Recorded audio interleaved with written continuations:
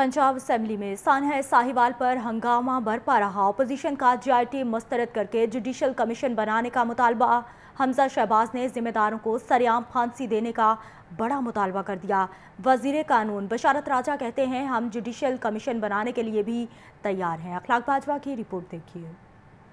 سانحہ ساہیوال کی پنجاب اسمبلی میں گونج۔ اپوزیشن کا شدید احتجاج۔ خون کا حساب دو۔ جے آئی ٹی نامنظور کے نعرے۔ اپوزیشن لیڈر حمزہ شہباز کا ایوان میں اظہار خیال کرتے ہوئے کہنا تھا کہ جب محافظی قاتل بن جائیں تو پھر کیا ہو سکتا ہے۔ سانحے میں ملوث لوگوں کو سر عام پھانسی دی جائے۔ قوم کو اداروں پہ اعتماد ہونا چاہیے۔ اس کا تقاضا ہے کہ جوڈیشل کمیشن بنے اور جس جگہ پر یہ اندوناک واقعہ رونما ہوا ہے اسی جگہ پر ان ذمہ داران کو پھانسی دی جائے سریام پھانسی دی جائے۔ ان ذمہ داروں کو پیپلز پارٹی کے سید حسن مرتضی کا کہنا تھا کہ جن کے لیے ہم آج مغفرت مانگ رہے ہیں کل کو جے آئی ٹی نے ان کو دہشت گرد کہہ دیا تو پھر کیا ہوگا؟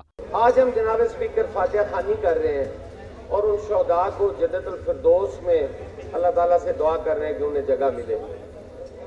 جے آئی ٹی رپورٹ کا کیا جواز رہ جاتا ہے کہ آج وہ ہمارے شہداء ہیں کل خدا نخواستہ جے آئی ٹی رپورٹ دوسری کر دے تو پھر ہم اس کو کیا کریں گے؟ صوبائی وزیر صنعت میاں اسلم اقبال کا کہنا تھا کہ سانحہ ماڈل ٹاؤن کے قاتلوں اور ذمہ داروں کو ماڈل ٹاؤن میں لٹکایا جائے۔ مسلم لیگ نون کے ملک احمد نے حکومتی حملوں کا بھرپور جواب دیا۔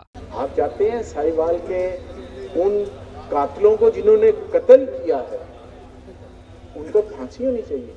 تو پھر مالٹون میں بھی پھانسی گھاٹ ایک لگنا چاہیے جہاں پر ان چودہ شہداء کے خون کا فیصلہ ہونا چاہیے۔ گورنمنٹ آف پنجاب آج مسلم لیگ نون کی نہیں ہے سپریم کورٹ کا فیصلہ ہے آپ sir go ahead and do the best investigate کریں اگر کسی کے ہاتھ پر ان معصوموں کا قتل تلاش ہوتا ہے تو قرار ہوا کہ سزا دیں پھانسی دیں اسے ڈپٹی اسپیکر نے بدھ کے روز جے آئی ٹی کی رپورٹ پر ایوان میں عام بحث کرانے کا اعلان کرتے ہوئے اسمبلی کی کاروائی ملتوی کر دی کیمرہ ٹیم اور ساتھی رپورٹر دانیال راٹھور کے ساتھ اخلاق احمد باجوہ لاہور نیوز